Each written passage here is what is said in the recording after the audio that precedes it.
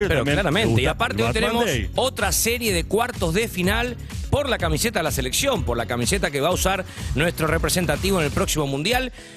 Hoy tenemos otra serie de cuartos de final, recordemos, son cuatro series de dos y ahí pasan a semifinal y allá por fin de octubre vamos a da- saber quién se gana la camiseta de la selección, que la tenemos ahí, arriba de la mesa con nosotros. Bien, mientras Sofi va a tomarse algo para recuperar su gargantita y tira todos los termos a su paso haciendo una especie de bowling con termos, nosotros te vamos a contar que mañana juegan River y San Lorenzo, Mariano. Sí, señor, así San es. Lorenzo y River, para hacerlo correctamente, ¿no? Mañana, Respetando la localía.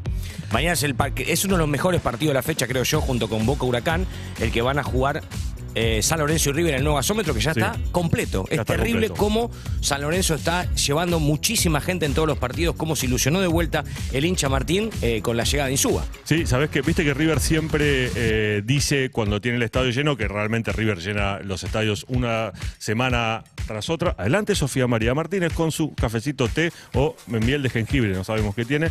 Eh, sabes que eh, siempre los hinchas de San Lorenzo me escriben y me dicen, eh, digan también que San Lorenzo también está llenando toda la semana. Vos también lo estamos diciendo, lo acaba de decir Marian. Eh, San Lorenzo también está llenando todos sus estadios. Ayer, hablando, empezamos por San Lorenzo, Dale. que va a ser el local, eh, estuvo Bocini en el Sí. entrenamiento de San Lorenzo visitando a su amigo el Gallo Insúa. Recordemos que el Bocha es, era fanático de San Lorenzo, de, su, su primer equipo, digamos, hincha de San Lorenzo. Ayer los pasó a visitar, me pareció un gesto Claro. realmente muy lindo, el máximo ídolo de Independiente, un jugador, pero una De la hostia. absoluta, un crack absoluto, un tipo de esos que podés ver y estar viendo eh, horas y horas jugadas o pases o ese, ese pase entre líneas jugando al trotecito, un crack absoluto, visitó a San Lorenzo, eh, estuvo en el entrenamiento. San Lorenzo... eh, yo no sé si va a seguir con el doble o nueve, no. Me parece que esa es la gran duda de Insúa. Sí. O Bomberberg eh, y Vareiro, o que entre Ceruti por alguno de los dos. Seguramente el que salga sea eh, la bomba, jugador predilecto de, de Sofía María Martínez en, en San Lorenzo.